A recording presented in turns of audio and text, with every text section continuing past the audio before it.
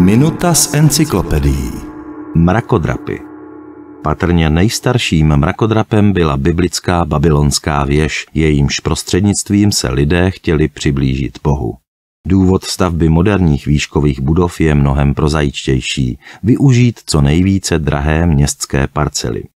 Po ničivém požáru v Chicagu roku 1871 bylo rozhodnuto obnovit zástavbu s využitím moderních technologií a materiálů. Jedenáctipodlažní budova architekta Williama Janeyho byla založena na příhradové konstrukci se železnými nosníky a jako první byla označena za mrakodrap.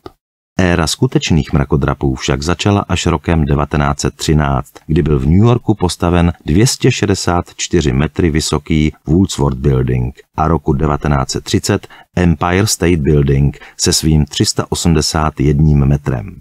V roce 1972 byli postaveni další rekordmani, dvojčata Světového obchodního centra, která byla roku 2001 zničena teroristickým útokem. V posledních letech se nejvyšší mrakodrapy staví hlavně v Ázii a dosud nejvyšší je Taipei 101, nacházející se na Tajvanu. Minuty z encyklopedií pro vás připravuje internetová encyklopedie www.cojeco.cz.